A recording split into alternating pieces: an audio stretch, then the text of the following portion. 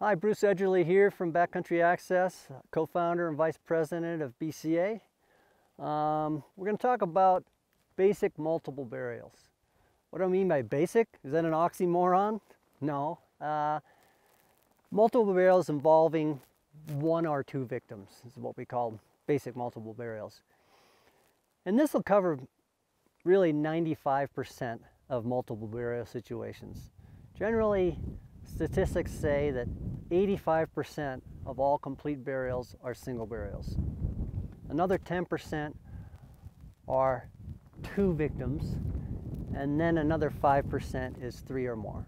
So if we go through basic multiple burials involving two victims, that's going to cover between that and one victim scenarios, that's 95% of all complete burial situations all multiple burial situations are different. Um, you know, you're gonna, a lot of the techniques are gonna depend on the manpower you have, how big the scenario is, of course, how many people are buried. Uh, but generally speaking, in the majority of cases, the techniques you use in a multiple burial are gonna be the same techniques that you use in a single burial. You find the first person, if possible, you turn their transceiver off and you move on to the next person. Or maybe if there's two people searching or more, you line up across the slope, move down the slope together. One person isolates this person, one person isolates that person. That's two single burials done in parallel.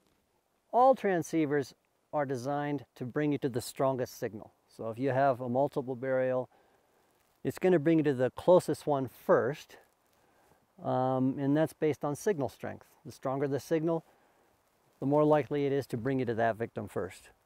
Some of them are better at doing this than others. Generally, the ones with faster processors are, are better at doing this, but eventually you, you'll find the closest signal. So if you just walk through the debris in a systematic manner, you're going to find all the victims. The only time this starts to get a little bit more complicated is if the victims are buried really close to each other.